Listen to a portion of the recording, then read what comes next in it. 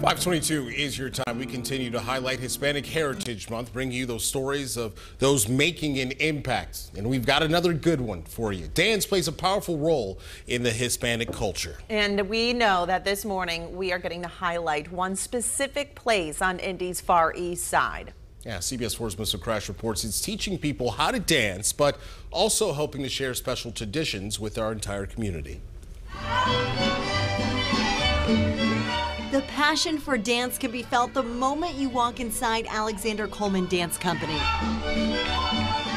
The music is turned up. The colorful skirts are spinning. And the owner, Fallon Coleman, is teaching young girls and women Latin rhythms. It's my opportunity for them to have a piece of their culture in this dance studio. They teach salsa, bachata, merengue, the cha-cha, and more. Martha Reyes is one of the instructors. La Raspa is known worldwide. It's one of the antique and um, very traditional dance. Reyes is from Western Mexico and has been dancing since she was young. Reyes begins her classes by teaching the basics. Each spin, twirl, or tap is an opportunity for her to share with these young dancers her roots and the history. It makes me feel close to home.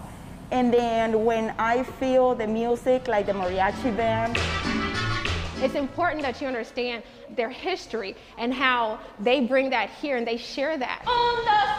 By performing in competitions, community events, and festivals, Coleman wants to share the Hispanic culture with all of Indianapolis and inspire greatness on and off of the dance floor. It's very important to our dance company that we instill in our youth the value of giving back and contributing and helping others.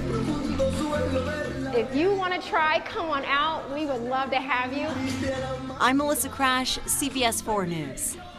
If you'd like to learn more about Alexander Coleman Dance Company, you can go to our website, cbs4indy.com. You'll find the story under Hispanic Heritage Month tab.